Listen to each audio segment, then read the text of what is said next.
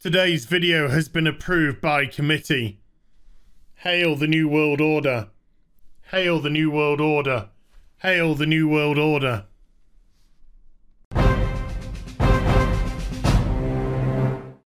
Hi everyone, it's Az here from Heel versus Babyface. Yes, I've had the same hoodie on for three days in a row.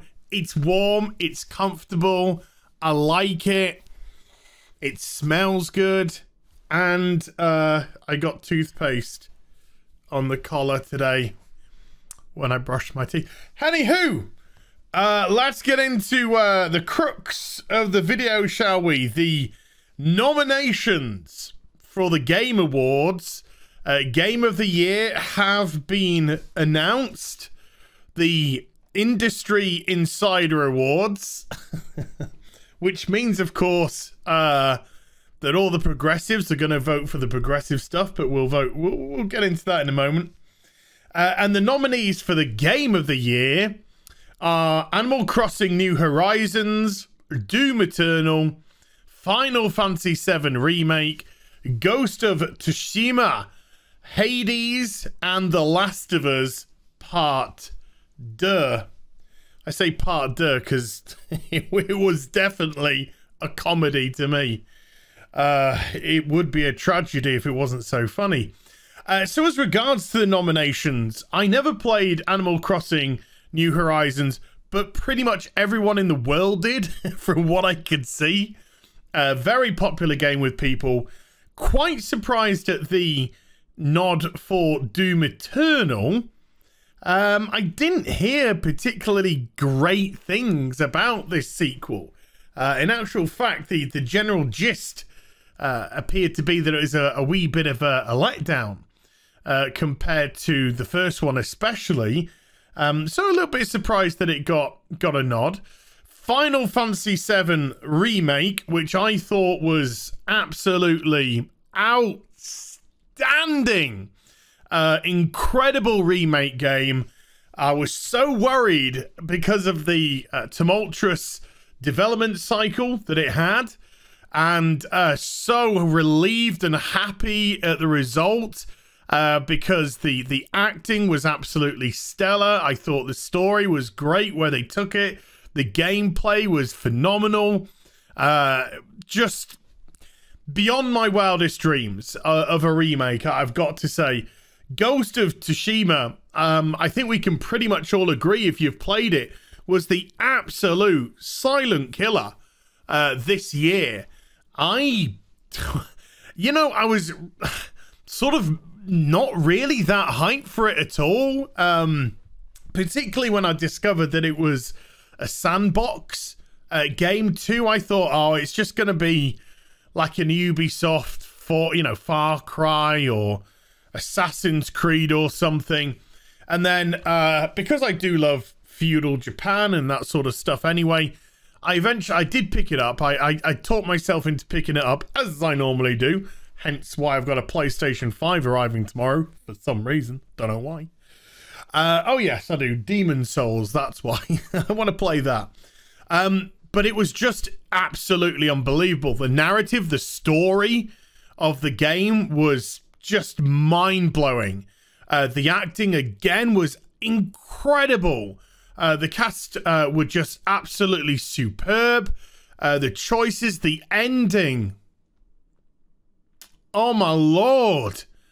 Uh, this game is is absolutely stunning. And then it's recently had, of course, uh, its uh, multiplayer add-on, which people seem to be uh, thoroughly enjoying as well. Uh, Hades also announced. I haven't played Hades. My friend's currently playing it. He says it's amazing. He's absolutely loving it. Uh, so I might give it a, a, wee bit of a shot myself. And then finally, the to me the the biggest joke of 2020, and the punchline will be that it probably wins the award. Why? Because it's an industry insider award, and they're all going to vote for the for the woke. Uh, they're all going to vote for the representation uh, but uh, Cockers himself, is this Cockers? No, that was I've jumped. I've jumped to another paragraph. Uh, this is Cockers here. Uh, congratulations, dogs. Never take for granted the incredible talent I get to work with every single day. Yeah, that you flogged uh, to the bone uh, with insane, horrendous crunch, uh, which made the studio have an unbelievable amount of turnover. Uh, in the end, having to bring in people who weren't trained for that specific role. Oh, but you know, you get what you get, I suppose. And big congrats to all the other amazing nominees because he's got to try and sound humble because he probably knows he's got it in the bag. Is it the best game of 2020? Not by any stretch of the imagination. I don't even think it's in the top five, uh, to be perfectly honest with you. And with Cyberpunk 2077 coming out in December, although it won't be nominated, of course, it's too late. Now, uh, it'll probably fall further down uh, the list. But not only that, the game itself was nominated for over 10 for 10 awards, including Game of the Year, Innovation in Accessibility. Now, with this one, I have heard, legitimately, I have heard uh, that the accessibility factors of The Last of Us Part 2 is very, very good indeed, um, particularly for people who are visually impaired, etc. Uh, so, fair enough. Uh, best performance nominations for uh, the Vulcan Salute. Uh, I do like Ashley Johnson, but I gotta say, I wasn't uh, impressed with the performance. Not because I didn't think she was good. I think she's fantastic. I truly do. But I just thought that Ellie uh, in this game was was diabolical. Her, her, character was just so one note. It was like, uh, uh, uh. That was Ellie throughout the whole of this game. So uh, I didn't see incredible amounts of range because I don't think the character lent it to have uh, that much range at all. And, you know, having a, a, spat with your girlfriend, I don't personally think qualifies uh, for great acting. But, um, you know, we are talking about an industry award, and that's all they care about.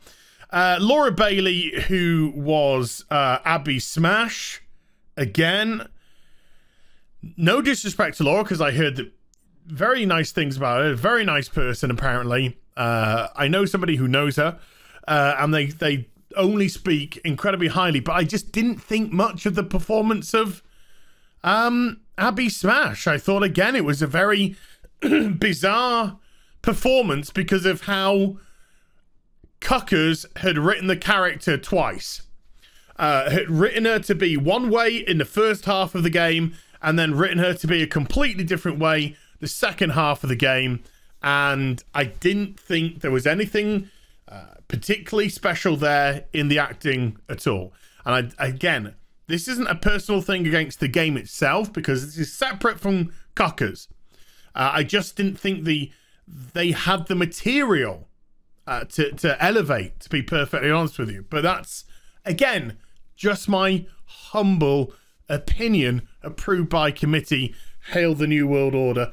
Hail the New World Order. Hail the New World Order. Uh, and more, apparently. Ghost of Tsushima, though, because uh, I'm picking out my personal faves. Uh, we're also nominated for Best Art Direction, Best Audio Design, Best Narrative, Best Action Adventure Game, Best Game Direction, and Game of the Year. Uh, and also, uh, best performance uh, by Daisuke uh, Tsuji. Tsuji. I probably got that completely wrong. And uh, absolutely, to me, uh, well worth its salt. Um, the art direction was just gorgeous. Uh, the audio design, uh, the audio was fine. You know, I don't didn't think anything wrong with it. Uh, narrative, yeah, I mean the story was was stunning and sensational. Uh, the gameplay was incredible. Uh, game direction, brilliant. Uh, game of the year, absolutely well worth its nomination.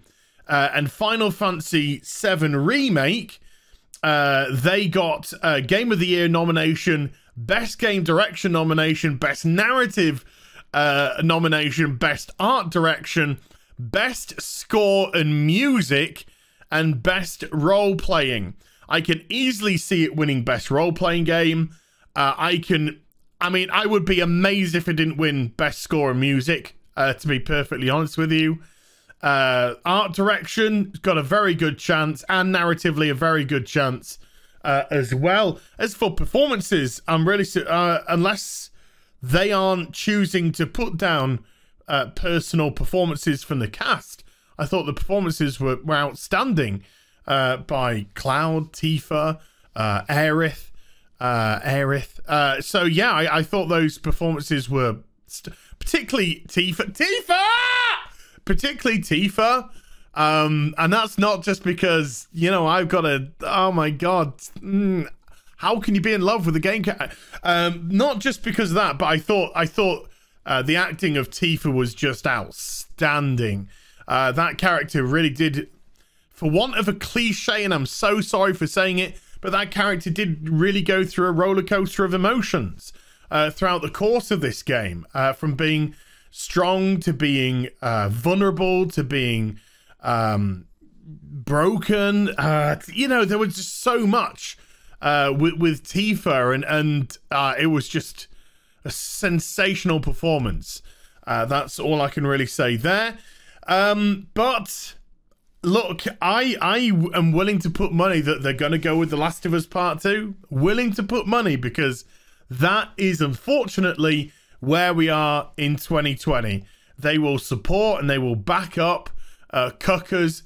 And personally, if I was to give a winner, I'll be honest with you, I am finding it virtually impossible to, to pull a winner between Final Fantasy VII and Ghost of Tsushima. And with my own personal best games of 2020 coming out next month, I better just leave it there, really, until I have to make an absolute decision. Hope you enjoyed the vid. If you did, do give it a thumbs up and also subscribe to the channel. Follow me on social media and YouTube for live streaming. Links, they're all in the description box down below. And I'll be back with some more stuff very soon. You take care. Bye for now.